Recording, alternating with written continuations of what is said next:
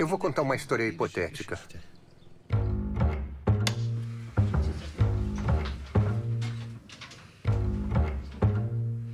Totalmente hipotética, eu não tenho nada a ver com isso.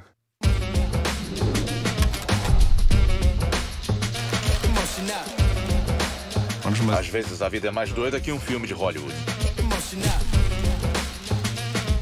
Eu estava trilhando uma ascensão na minha carreira. O mais fascinante no Donald é que ele conquista as pessoas. Tudo na legalidade. Dois roubos, dois anos de diferença e o Donald Stelvag supostamente participou de ambos. Ele sempre foi meio canalha. Se acontece uma vez, é estranho. 100% mentira.